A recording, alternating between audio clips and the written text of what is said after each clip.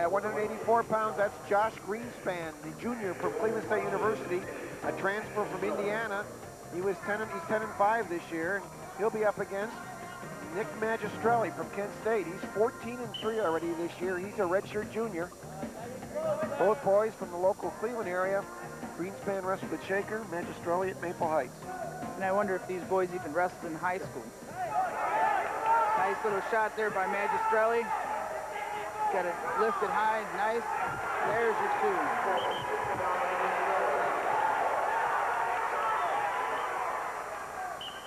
Now these boys wrestled once before, early this season, with Magistrelli getting beat by Greenspan 13 to 4, but they were wrestling at 197. Now they're down at 184. As Greenspan gets the escape to make it 2-1. There's awful big 184 pounders.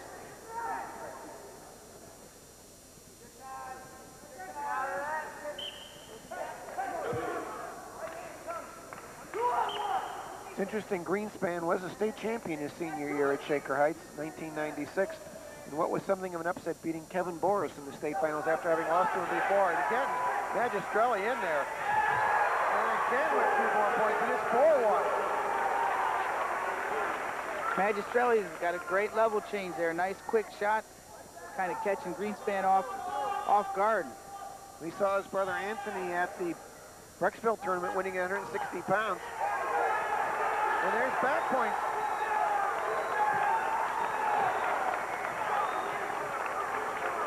He almost had a fall there. I was going to say, Frank Leno said a fall would be huge, and that was close. That's going to be worth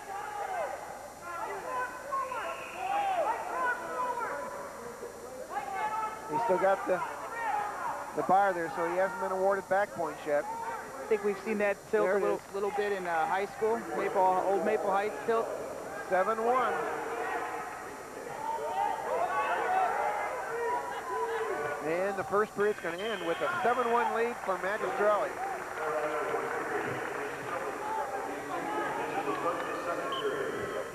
Both boys up in the second. Quick shot by Magistrelli, countered by Greenspan. There's a takedown. And that makes it 7-3.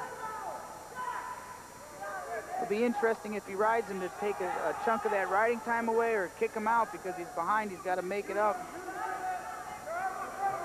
Looks like he's going to spend some time on top. Greenspan, a wrestler who always seemed to wrestle in spurts to me. Yeah, I think you're right.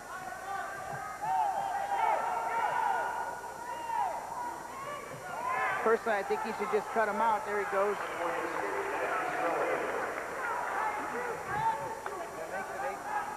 That makes it 8 to 3 right now.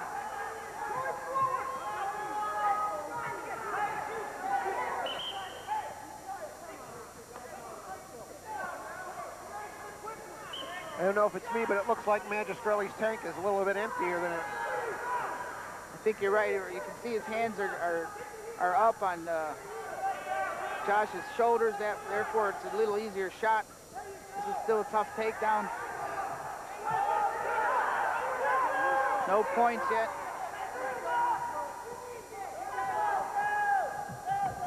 There it is. And that now makes it 8-5. As Greenspan has really inaugurated a comeback here.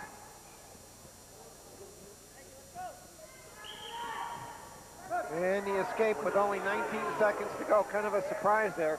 Yeah, I'm very surprised at that. Had he ridden him out, he would have just about prevented the one minute of extra riding time as well. Plus, he gave up a point with less than 20 seconds to go.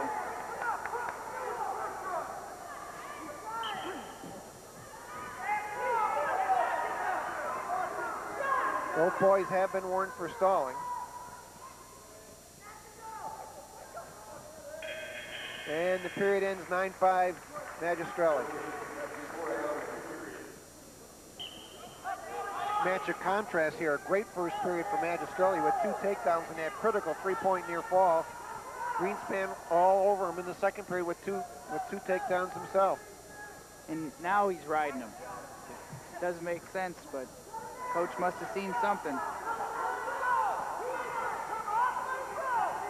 The pace of this match has been fast and furious. Both boys look just a little bit tired. It's going to come down to a little bit of shape here.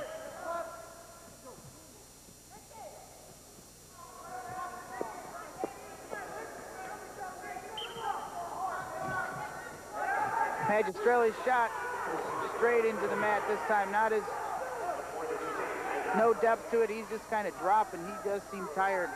11-7 right now. Minute and 17 to go.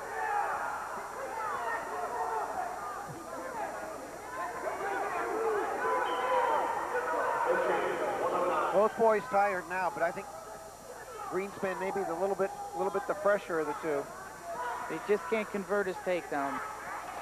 And Magistrelli hangs on. He builds up that huge first period lead of 7 to 1 and ends up stopping Greenspan's takedown to win 11-8.